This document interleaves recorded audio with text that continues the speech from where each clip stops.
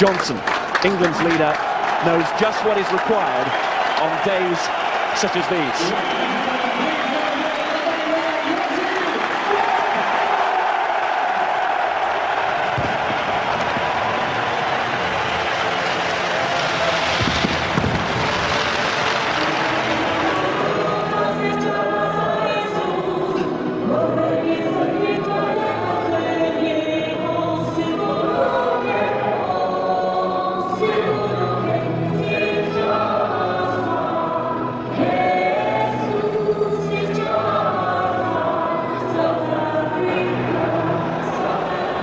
England go into the final international of the Investec Series as everybody's favourite to make it three in a row against the Tri-Nation countries. To see England respond to that, Billy, will be fascinating.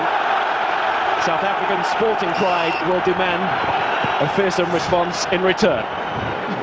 Lewis Moody for England from the kickoff. And Dawson to Wilkinson, who runs the first one to find Cohen. Dawson again.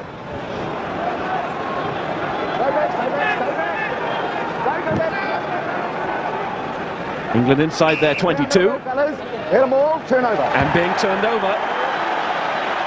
It was certainly on the cards and England just couldn't control the situation. Turnover there. You can see England shaded it in weight where they do have a big edge over the Springboks is in experience, especially in the front row. Loose from Van Niekerk, the number eight. Not his favoured position, but he came back into the move really well, recovered the situation for his side. Conradie reunited with Pretorius, the half-back pairing.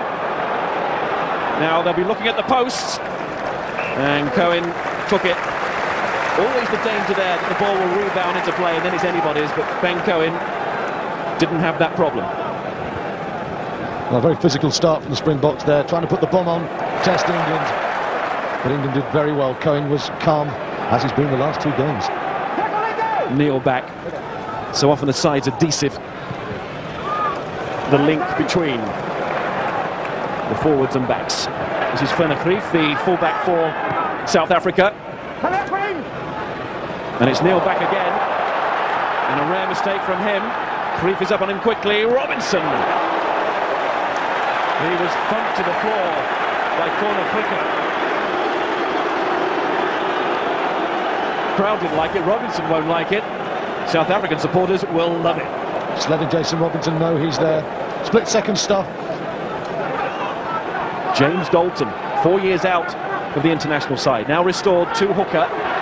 Didn't start against Scotland last week, and they missed his bite. Pretorius again, Lombard off his wing. As quick as Howlett, Lombard, and uh, Dougie Howlett for New Zealand a couple of weeks ago. Turnover for England gets another touch, and Loose pulls in his wake. He loses the ball in the tackle, but there we saw the Christopher step. His childhood hero was David Duckham, and there was a bit of the Duckham dash there. And now a bit of afters on the floor. The bite of the bullet. James Dalton, the man they call Bullet, involved there. Still with South Africa, and he's breaking up now, and it's Werner Greeff coming through. Tap tackle was from Dawson. Had to be made. Conradie to AJ Venter. South Africa opening up here. Big hit from Will Greenwood. But they still keep it alive wonderfully well. Wessel Roux. Richard Hill for England. Thrilling move from the visiting side. Slowing it down and England will be very relieved to get this penalty. They were stretched almost to the limit. Dawson, Wilkinson, Greeff under it, Tindall lining him up. You saw a tackle bag, not a player, and it's an England penalty. What a fine tackle from Mike Tindall.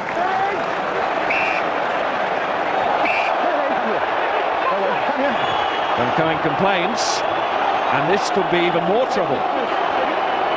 We're having a niggle, okay, from both sides. Not putting up with them, going 10, next time it's card. 10 metres. 10 me metres given to England, which of course makes the kick even easier for Wilkinson. He's now well within his range. Go white. But no yellow card for Robbie Fleck. Listen, Cohen and Fleck going at it. Shoved his arm there at Ben Cohen, who maintained his discipline, didn't respond. daft play from Fleck. Very talented individual, but very, very feisty. And he's there to make the hits, but he's also a bit of a liability. With Fleck and James as the centre combination, you know what you're going to get. And you also know what you're going to get from this man. Jonny Wilkinson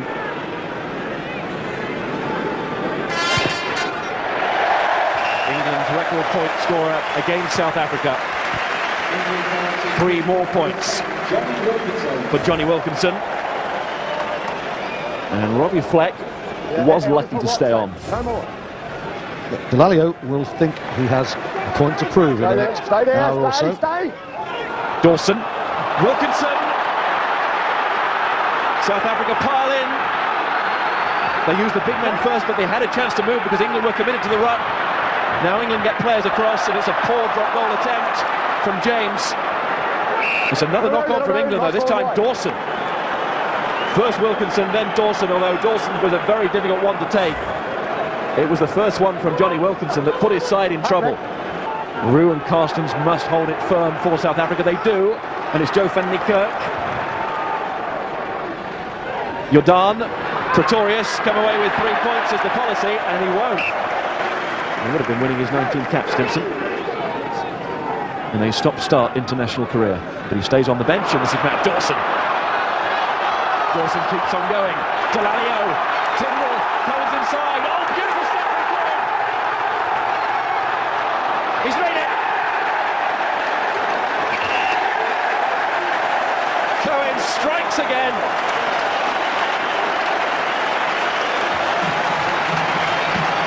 So clinical.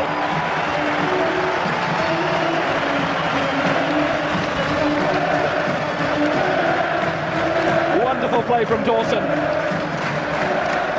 Then Dallaglio, the supporting man. Tindall kept his cool, and so did Ben Cohen. And nobody stops Ben Cohen when he's just short of the try line. Well, no one stops Cohen from any distance from the try line. It's a good tackle from Fleck. He just about gets in. But I must say, brilliant play from Matt Dawson, and he combined excellently with Dallaglio to set that opening.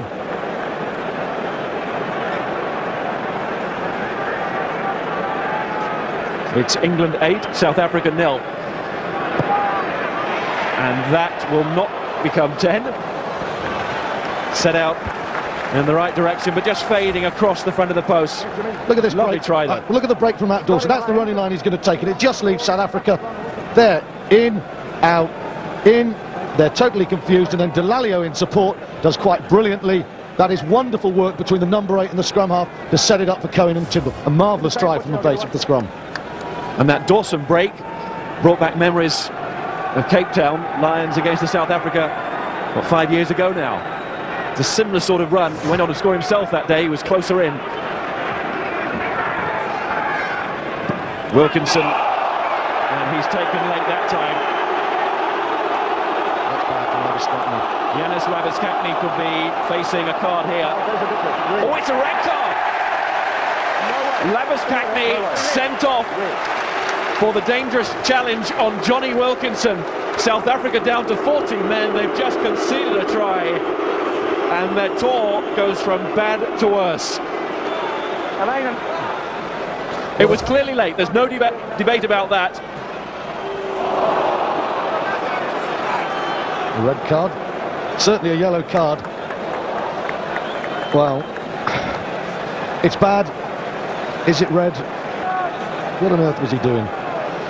No, I think Wilkinson's a little bit groggy still, so Mike Tindall is saying no. He said, I can take that.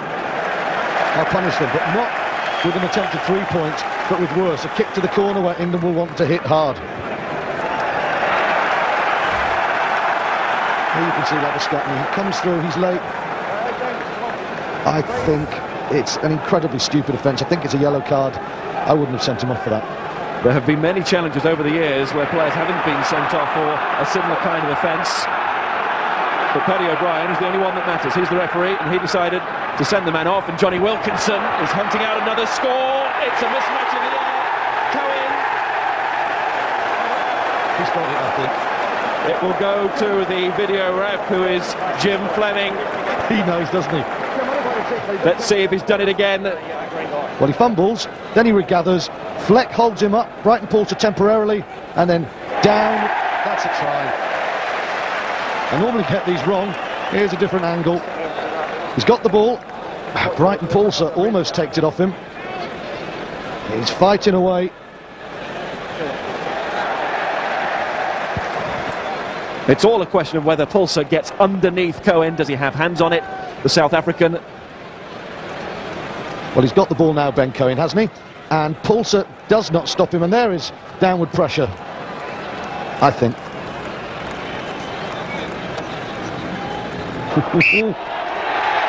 Cohen losing control, knocking the ball forward into the opponent. Knock on. Extra man, can they make it tell? Dallaglio, Dawson, Wilkinson, Tindall.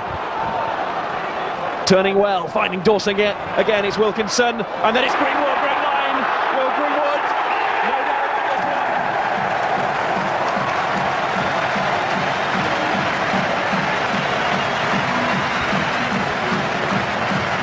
England ring the bell, and the message is clear.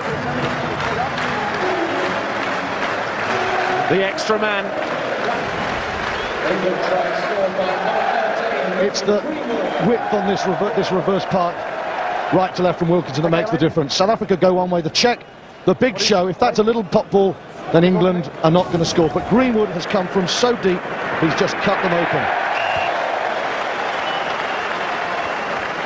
No problems for Wilkinson with the conversion. South Africa remain in a huddle underneath the post. They have got to dig deep here.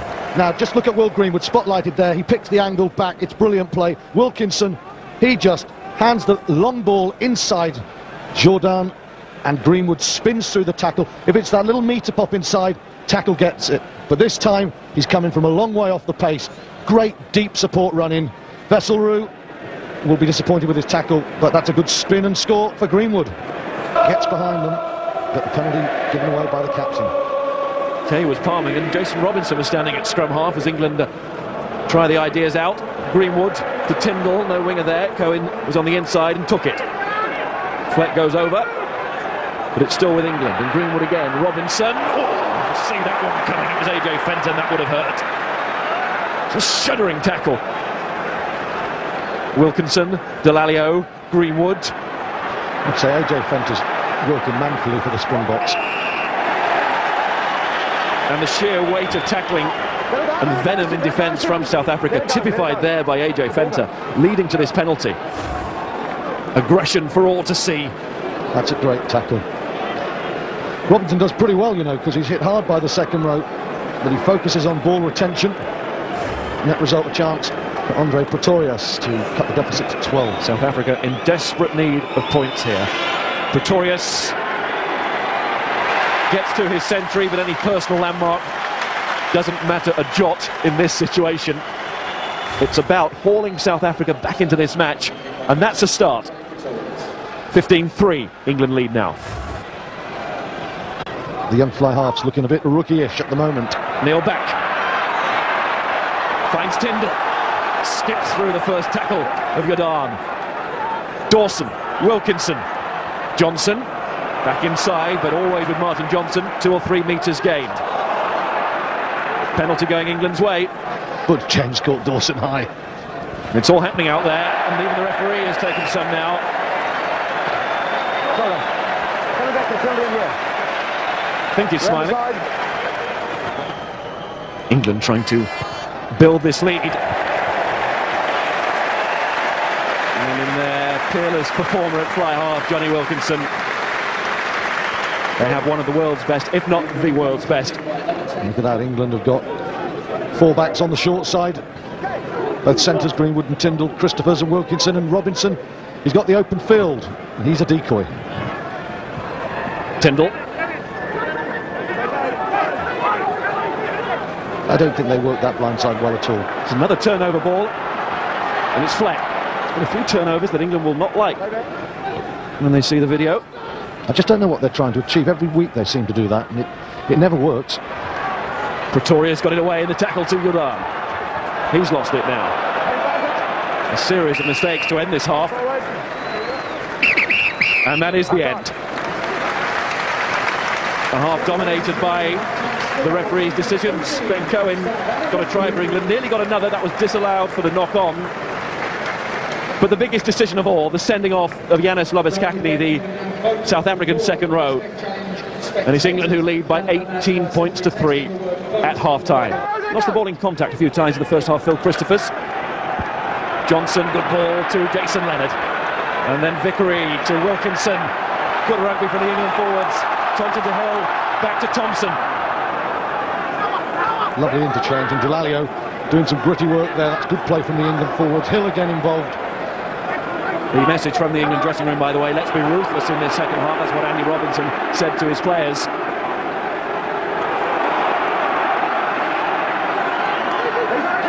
Dawson has to pick the moment here. Last day out. Now he's buried, so it's Thompson to Christophers and then Leonard. Presented back to Dallaglio, Wilkinson, Greenwood. Still Will Greenwood. What a run from Greenwood! Well, that to me looks like a try. Again, it's to the video referee. There was so much work for Greenwood to do. And it looks like he's done it, but we need this to be confirmed. That was a fabulous show from Greenwood.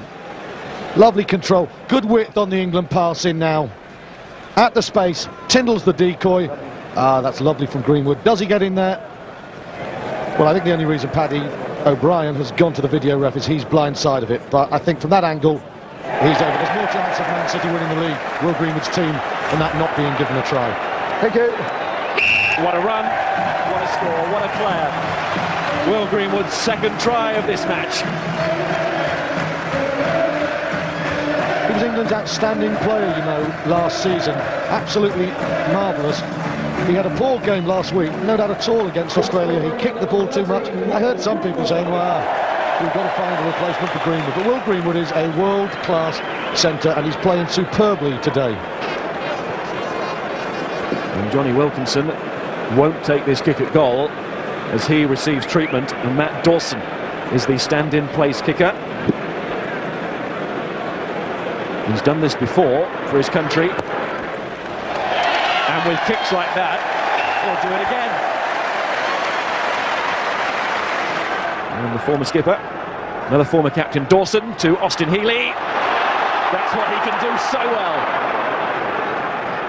Cohen didn't need to do that. Dawson was waiting to release. Plenty of English players lining up. Greenwood with the chip across. Oh, it's brilliantly taken by Van den Berg. Just did very well. And certainly it was the greatest option from Will Greenwood there. Great break from Austin Healey, But Van den Berg, he misses that ball. That's spinning right back into the, a white shirt. Pretorius. Dinky little chip. Well read by Matt Dawson. Who's had a terrific series of matches. That one doesn't go to ham though, and still scavenging and fighting away, sometimes literally. James Dalton. Bodies everywhere. Vickery's down now. Dallaglio's down. Dawson's down. It's taking its toll now on the South African pack. Their lungs will be bursting. Neil Back has the ball. England have the momentum. Dawson. Healey. Crossfield kick again. Ben Cohen is challenging. Big ooh and ah from the crowd because they know that in those situations Ben Cohen is almost unstoppable, but the kick has to be spot on. There were men outside there. I don't think Austin Healey should have kicked that. A lot of white shirts there. Tiring South African legs in defence. Robinson will take this one quickly.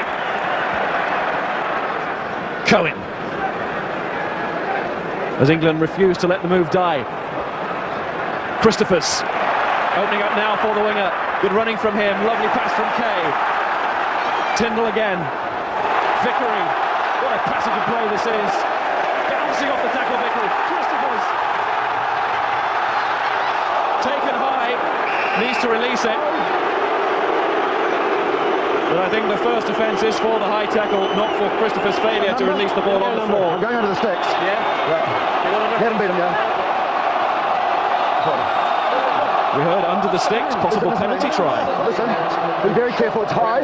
Be careful, I'm giving a penalty try. You had him beaten, it's a penalty try. The referee has to be sure that the try would have been scored. And after consultation with the touch judge, Paddy O'Brien decides on a penalty try for this high tackle by fullback Werner Greeff. That's a high tackle, all right. He was travelling. Good run from the Bristol winger. And I think probably his impetus would have carried him over. Momentum would have done the trick.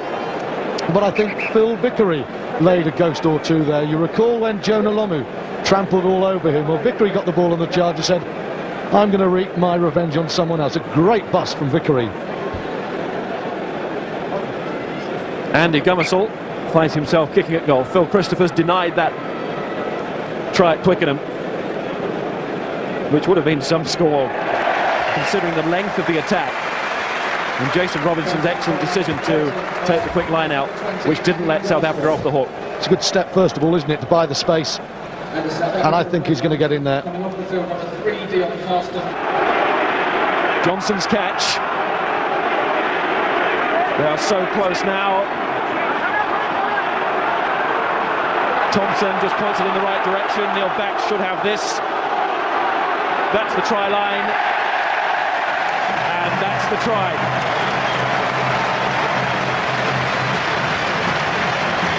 A try to bring the stadium to its feet. One for the back row. Richard Hill gets the pat. Dallaglio too. And Neil Back. What a stunning performer he is in those situations. Well, he's been doing this an entire career at Welford Road. Well, England were getting dangerously close to the touchline, but Back just burrows over. And great positional refereeing from Paddy O'Brien. Vickery's there to make sure he doesn't go into touch.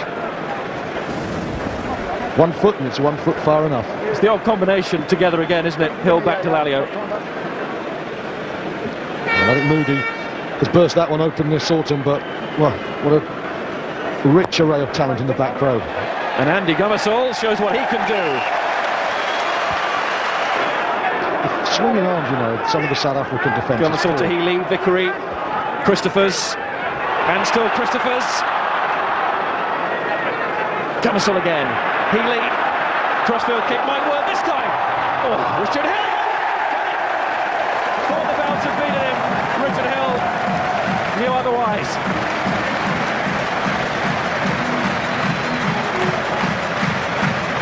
A rout. It really is a rout now. And I think Healey kicked too quickly a couple of minutes ago, but that one's a beauty. Lovely weight. Doesn't Richard Hill deserve it? Scarred and battered, but not half as badly scarred and battered as the box. Healey shapes the pass, changes the mind. Hill's gone wide. Well, it's all going your way. That's a 9 out of 10, straight into touch. Now, Murmur of laughter from around the ground there as Hill was helped by the bounce, but it was great awareness and terrific skill. And there's another England kicker who can do it from the touchline, Tim Stimpson. Do you want to do you want to get down there and have a go from the touchline? Everyone's getting them. It's a lovely kick from Healey, isn't it? The weight. And England, uh, they'll claim they've made their luck. A good finish from Hill, excellent skill from Healey. And Richard Hill really enjoyed that one. Gets it down in time. It's a white tide and they can't stem it. Back steering. It's not a mere stat. England want 50. And they are very close to getting it. Paddy O'Brien takes a look. Johnson goes in to dig the ball out. Leonard too. Cohen for one stopped in his tracks short of the line. Gomarsall. Healey. Robinson can't take. Stimpson can. Oh, he can. Still Stimpson. Gomarsall. Thompson pushes it into the hands of Healey. Jinking away. Can't find a way through. Tindall. Now, was that carried over? It was. Five metre scrum and still time to play. Very little of it. Jonny Wilkinson, the onlooker today, or at least part of the day. Well, you know, got to name an Investec man of the series, and it hasn't been Wilkinson's day today, but England won that game well. But when they needed him most, when they needed the magical creative touches against New Zealand, the boot against Australia, he provided. Steered them to the big wins. Wilkinson is the Investec man of the series. And steering towards the try line, it is... It is England, it is their day. And everybody knows it.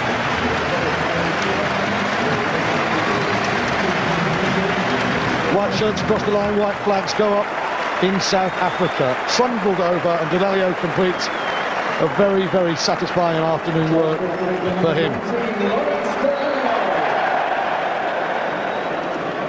Given the extra man early in the game, but relentless in their pursuit of their goal in this match. Tim Stimpson, the agony is piling.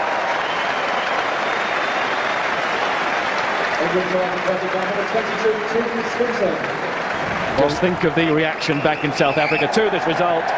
Twickenham has become almost unconquerable. English rugby take a bow.